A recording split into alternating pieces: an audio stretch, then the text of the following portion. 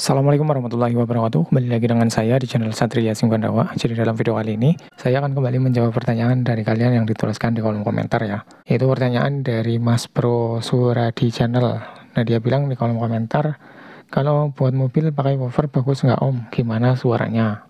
Oke, untuk di video kali ini saya akan coba menjawabnya ya teman-teman. Jadi silakan bagi kalian yang mungkin belum tahu atau memiliki pertanyaan yang sama dengan Mas Bro Surah di channel bisa disimak aja untuk video kali ini ya. Mudah-mudahan bisa bermanfaat buat kalian. Sebenarnya saya juga sudah menjawab untuk di komentar tersebut ya. Tapi nggak apa-apa, saya akan buatkan aja untuk videonya ya teman-teman. Agar kalian yang juga belum tahu atau mungkin punya pertanyaan yang sama bisa tahu ya tentunya. Jadi pertanyaannya adalah kalau buat mobil woofer bagus nggak om? Jadi yang dimaksud woofer adalah woofer yang biasa untuk rumahan ya teman-teman. Kemarin saya juga sudah buatkan videonya perbedaan antara speaker subwoofer mobil dan juga subwoofer rumahan. Kalian bisa cek aja dulu ya teman-teman bagi kalian yang belum tahu.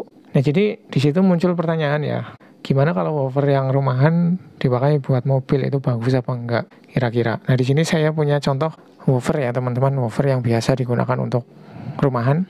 Untuk speaker ini kita juga bisa gunakan untuk subwoofer rumahan ya. Ini adalah speaker Corvo ukurannya 8 inch, maksimal powernya 100 watt.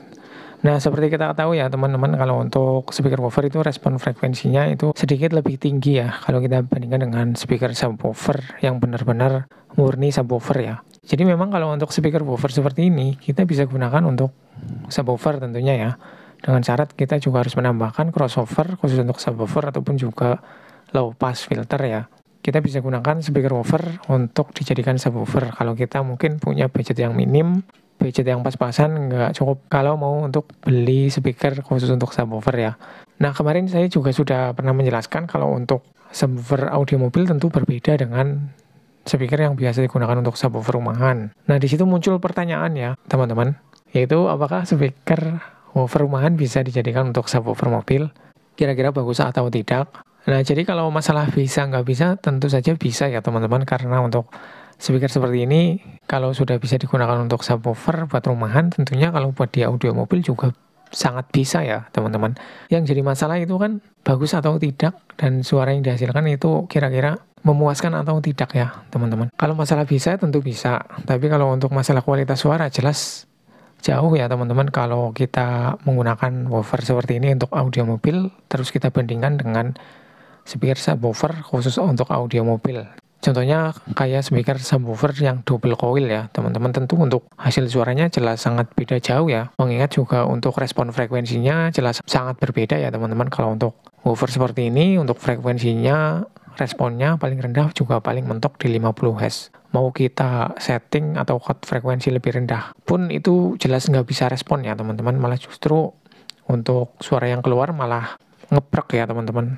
Prak-prak untuk bassnya berbeda kalau untuk speaker yang khusus untuk subwoofer yang biasanya itu double coil. Kalau untuk speaker yang seperti itu untuk respon frekuensinya itu bisa rendah ya teman-teman. Karena memang speaker yang double coil seperti itu itu bisa dibilang murni untuk subwoofer. Jadi kalau kita mau gunakan untuk audio mobil tentunya ya sangat cocok ya. Karena respon frekuensinya juga bisa disetting rendah bisa sampai 30 Hz ya teman-teman. Bahkan kalau untuk subwoofer yang mahal bisa sampai 20 Hz ya.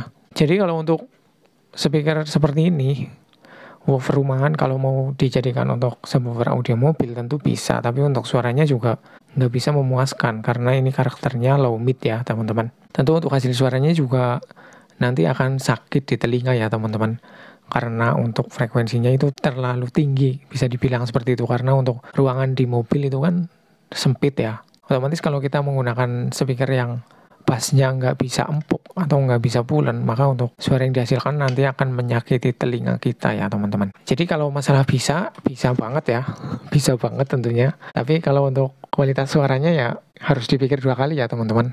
Woofer seperti ini mau dijadikan subwoofer di audio mobil ya. Nah, mending kalau kalian mungkin punya budget yang pas-pasan atau budget minim, kalian bisa beli speaker subwoofer yang double coil yang untuk audio mobil ya teman-teman. Sekarang ada banyak yang harganya murah. Ya walaupun nggak semurah speaker yang woofer untuk rumahan ya tapi lebih baik kalian juga beli yang speaker yang seperti itu ya teman-teman. Yaitu speaker subwoofer double coil yang harganya murah. Itu lebih baik ya teman-teman daripada kalian menggunakan woofer yang rumahan seperti ini untuk subwoofer audio mobil. Yang jelas kalian nanti pasti akan kecewa ya karena suaranya nggak sesuai dengan ekspektasi. Kalau masalah bisa sih bisa ya, tapi untuk suaranya itu nggak akan bisa enak. Seperti subwoofer yang double coil ya teman-teman. Karena untuk respon frekuensinya aja itu pun udah berbeda ya. Karakternya pun juga sudah berbeda. Ini kalau untuk speaker seperti ini, woofer rumahan itu adalah low mid, cenderung low dan juga middle. Nah kalau untuk subwoofer double coil yang khusus untuk audio mobil, itu karakternya murni subwoofer ya teman-teman. Dan juga untuk bassnya yang dihasilkan juga lebih empuk dan juga lebih pulen ya. Jadi kesimpulannya kalau speaker seperti ini mau dijadikan subwoofer mobil bisa saja ya. Tapi untuk suaranya juga nggak akan bisa enak. Jadi seperti itu ya teman-teman untuk penjelasannya di video kali ini. Mudah-mudahan bisa menjawab pertanyaan dari Mas Pro Sura di channel ya dan mudah-mudahan juga video ini bisa bermanfaat buat kalian yang mungkin juga belum tahu atau masih bingung mau menggunakan speaker rumahan seperti ini untuk audio mobil itu kira-kira bisa atau tidak. Di video kali ini saya sudah menjelaskan ya teman-teman mudah-mudahan bisa bermanfaat dan bisa dimengerti ya. Nah mungkin bagi kalian yang mau menambahkan silahkan bisa ditambahkan aja di kolom komentar dan bagi kalian yang mungkin masih bingung kalian bisa tanyakan aja ya teman-teman. Terima kasih sudah menonton. Sekian wassalamualaikum warahmatullahi wabarakatuh.